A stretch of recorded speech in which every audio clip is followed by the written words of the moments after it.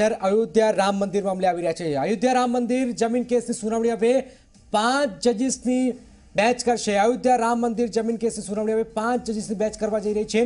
Chief justice of ઇન્ડિયાએ આ પાંચ જજીસની બેચની રચના કરી છે. જે બેચમાં ચીફ જસ્ટિસ પોતે પણ હશે. આ સિવાય justice Bobde, justice Chandrachud, justice Ashok Bhushan justice Abdul નાસીરનો પણ બેચમાં સમાવેશ કરાયો છે.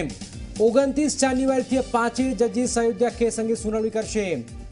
આ પહેલા પણ આ કેસની સુનાવણી માટે પાંચ જજીસની બેચની રચના કરાઈ હતી, જેમાં chief justice Ranjan Gogoi, justice N B Ramana, justice U U Lalit, justice S A Bobde, justice D Y ચંદ્રસૂડનો સમાવેશ કરાયો હતો. જો કે જસ્ટિસ યુ યુ લલિતે અયોધ્યા કેસથી પોતાને અલગ કરી દીધા હતા. જેથી ફરી વખત નવી બેચની રચના કરવામાં આવેલી છે. નજર છે હવે ઓગણત્રીસ તારીખ પર